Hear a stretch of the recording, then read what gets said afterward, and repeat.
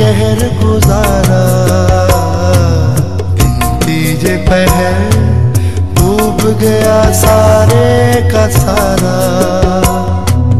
तिड़की थी चटाने कोई पुरजोर हवा थी।